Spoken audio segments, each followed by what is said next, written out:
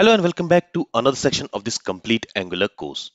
Now in this section, we are going to learn about standalone components, which is yet another new feature in Angular introduced in Angular version 14. And in this section, we will learn all about standalone components and we will try to understand what this feature is all about, why standalone components were introduced, and what problem does it solve.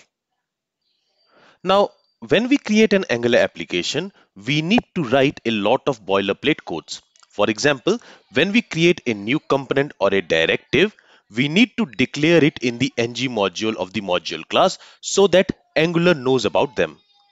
In the same way, when we create a service, a pipe, or when we define a route, we need to add them in the ng module of a module class.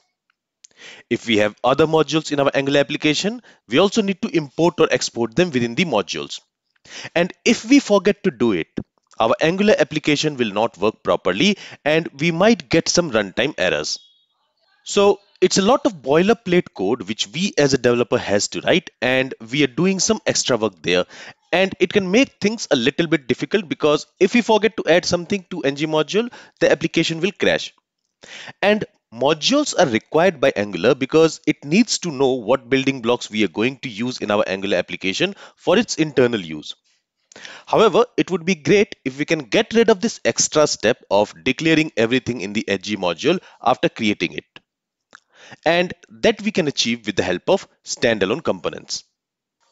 In Angular, a standalone component is a special type of component that does not require to be declared in ng module of a module class. As we have seen so far, when we create a component in Angular, we need to declare them within an ng module of a module class in order for them to work, right? So standalone components, and it was introduced in Angular version 14, it basically simplifies the development process by eliminating the need for ng modules, that is the module class. And this makes it easier to create and use components without worrying about declaring them somewhere. So basically, standalone components don't need to be declared in any ng module. Also, they streamline the development experience by reducing the boilerplate code. And standalone components can still be used alongside components within ng modules. So if we want, we can also mix standalone components and standard components in our Angular application.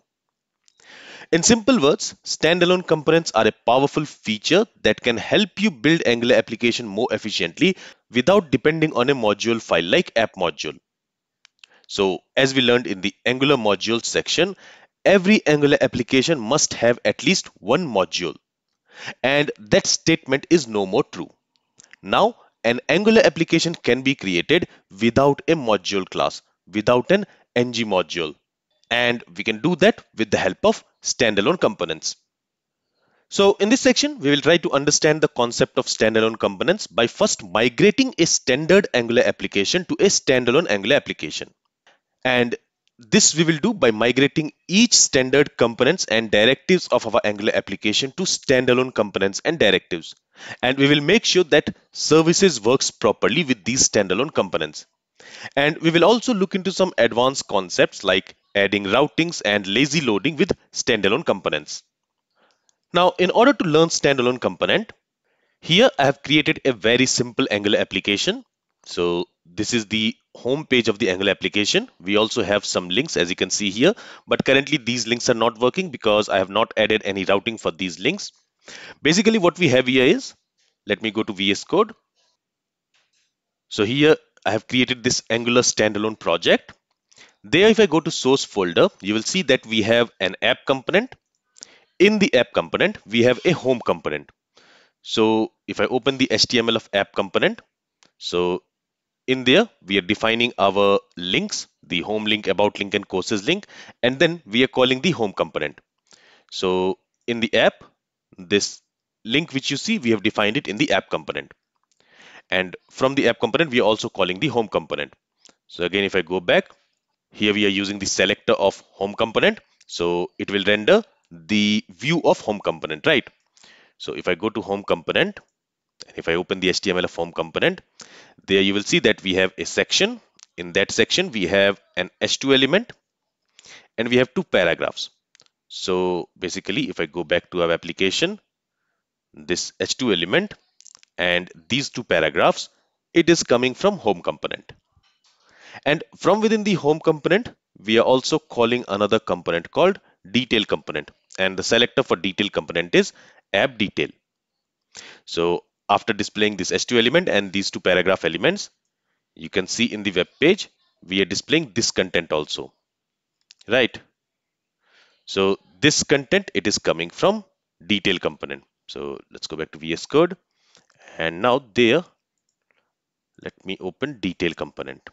So if I open the HTML of detail component, here we have the HTML for detail component. Okay, we have a section. So this section is basically rendering this complete content. Okay, so there we have one H3 element. We have these bullet lists and we have this paragraph. So if I go back, we have this H3 element, we have this div, okay, and then we have this paragraph. In this div, we are displaying some unordered list. Now on this div, as you can see, we are using a directive called app highlight. And we also have a button here on which we are listening to click event. So let me first show you what this on click method is doing. If I go to detail component.ts, there when this on click method is called, we are basically calling a service. So if I open this shared folder, there I have created an action service.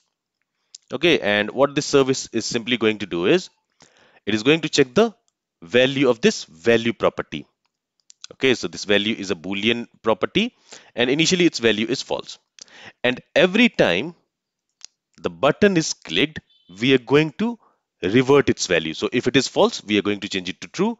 If it is true, we are going to change it to false. And then what we are doing is we are checking if this dot value is true, then we want to return this string value start again. But if this this dot value is false, that means if the value of this value property is false, in that case, we are simply going to return this string done. Okay, so from this change action service method, so this method we are defining inside this action service class. So when this method will be called, it is going to return a string value. Either it is going to return start again or it is going to return done. And it is going to return a string value based on the value of this value property. Okay, so if I go back, what it will do is when I click on this done button, you see the value will change to true and here we can see start again. If I click on it again, you will see it is done. If I click again, it is showing start again. So this is a very simple service. I have just created this service to understand how we can use services with standalone components. This service is not doing much. This is a very simple service, but it's enough to understand how a service works with standalone components. Okay, then we also have this highlight directive, which we are using in our detail component. So if I again open detail component.html, you'll see that on this div element, we are using this app highlight selector, which is the selector for this highlight directive. And all this highlight directive is doing is it is changing the background color. It is setting some border on the element on which we are using it. It is setting some border radius and padding. So if I go back, you'll see that here we have some background color. We have some border, some border radius and some padding. Okay, so this has been done using the selector of this highlight directive. We are using this selector on this div element. So that div element has been styled like that. All right. Then I also have a shared module.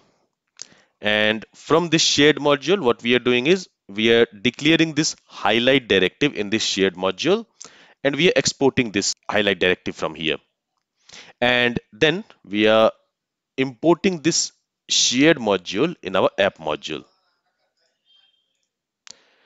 So in the app module we are importing the shared module. Here you see in the app module we are simply declaring the app component home component and detail component. We are not declaring our highlight directive. We are declaring our highlight directive in the shared module in here. And then we are importing this shared module in the app module So this is a very simple Angular application and this is a standard Angular application. It does not use any standalone component yet. But what we are going to do is we are going to change these components which we have in this project. So for example, we are going to change this app component to a standalone component. We are going to change this home component to a standalone component and we are also going to change this detail component to a standalone component. And we will see what changes we will have to do for that. All right. And we will also see how we can change this directive.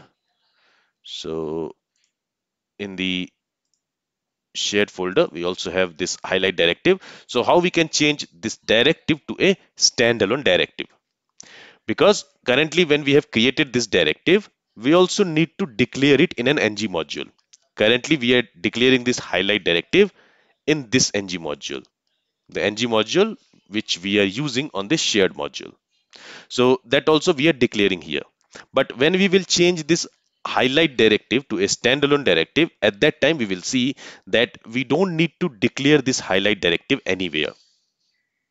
So all this we will start learning from our next lecture.